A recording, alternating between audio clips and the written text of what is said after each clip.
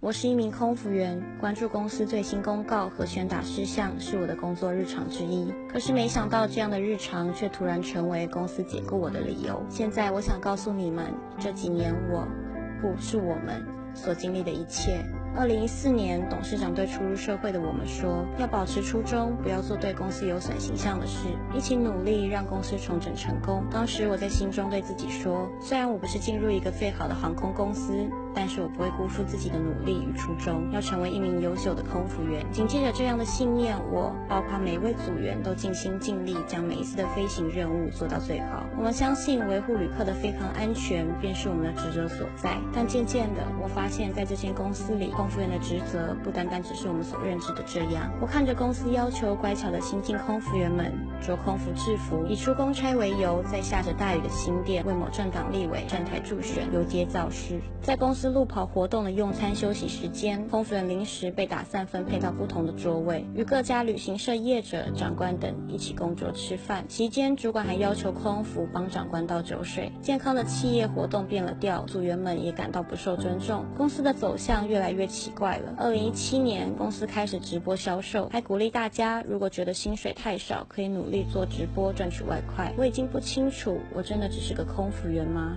再带你看看这几年我们的工作环境，以及你所不知的机舱真相。机体设备老旧，零件多样停产，导致机内硬体设备不佳，旅客的不适，组员频繁中暑，已是我们的惯性。舱壁漏水，处处贴满补救的胶带，公司还能在媒体前面不改色的说谎。尽管非案疑虑层出不穷，在这环境下的每个人仍然坚守自己的岗位。记着公司说的共体时间，用仅有的资源，尽心的为公司排除困难，走过困境。二零一五年十二月七号，公司无预警修改薪资发放方式。当月我们只能领着两万多的底薪，甚至必须筹钱平衡收支。二零一五年十二月与即将调薪时，公司单方面修改薪级办法，更改为统一于隔年二月才能上报晋升，期间误差八个月之薪资，至今并无归还。二零一六年二月，公司发布号称奖励员工之绩效奖金办法，但时至今日，没有人看过任何一年绩效考核成绩及绩效奖。奖金颁发流向，却不断有人因不透明的考绩被资遣。二零一六年十二月，换学妹们调薪前夕，自行查询得知薪级办法又改变了，从两百七十二元一小时减少为两百二十元一小时。寻求各个单位都遭踢皮球未果，在孤立无援的状况下，我们决定靠自己维护应有的权益。二零一七年三月，我们成立远东航空企业工会，并向远航提出至劳动部开调解会，寻求理性协商。二零一七年五月。三日，在调解会前夕，会被正常调薪之员工十七名被辞遣。在发生这么多事后，董事长写了一封信给全体员工。当时我想，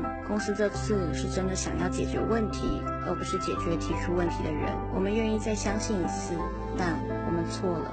二零一七年九月，公司将组员高雄外站住所换成自家企业名下之会馆。会馆位置非常偏远，是大众运输及物流都难以到达的方。现场充满施工阴架、封着膜的电梯，处处摆放着施工器具，俨然是未完工的状态。公司却要求组员直接入住。多名组员不断向公司反映安全问题。二零一七年九月二十一日，空服处经理与空服月会中声称，高雄澄清湖会馆已通过消防安检，请组员安心。入住。二零一七年九月二十九日，工会却收到高雄市消防局的来函，明确告知该地点澄清湖会馆并无通过消防安检，需尽快改善。这期间至十月七日，公司并无公开说明任何处理方式以及解释缘由。二零一七年十月七日，我与工会理事长一同结束飞行任务，回到办公室。当时理事长为保障会员及组员得知消防安检未过的消息，将消防局来函张贴于布告栏及组员交流平台的。信箱，而我当时正好经过，并从理事长口中得知此份来函内容。接着我便踏上街车返家。二零一七年十月十一日晚间六点零九分，